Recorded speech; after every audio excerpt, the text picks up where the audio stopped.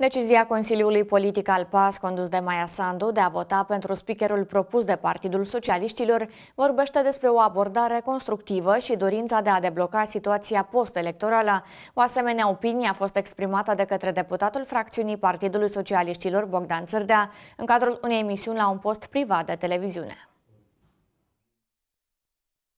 На этих переговорах вот мне наши deputat. Deputații noștri au comunicat că la aceste negocieri o parte din blocul acum a fost mai constructivă decât cealaltă. Cu una dintre ele s-au desfășurat discuții aprinse. Cu a doua parte este vorba despre platforma DA. A fost mai greu deoarece a avut o poziție mai dură Очень такую жесткую, непримиримую позицию. În acest sens, deputatul socialist Bogdan Țârde a menționat că pe parcursul întregului proces de negocieri dintre PSRM și acum, reprezentanții blocului continuă să ceară postul de speaker și de prim-ministru. Cu toate acestea, potrivit lui Țârdea, pe ultima sută de metri, adepții Mai Sandu au reușit să arate o anumită flexibilitate și să cedeze postul de speaker la care pretindea Andrei Năstase.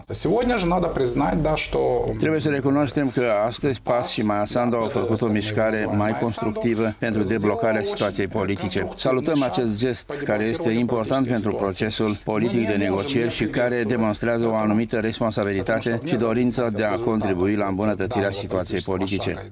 La rândul său, reprezentantul PAS, deputatul blocului acum Vladimir Bolea, a explicat această decizie a Consiliului Politic al partidului ca fiind o dorință de a rezolva problemele politice care au apărut în țară.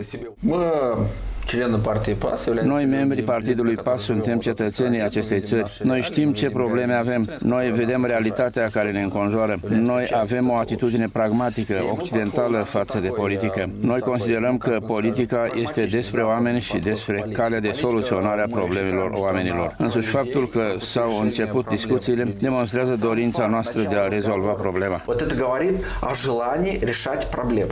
И все.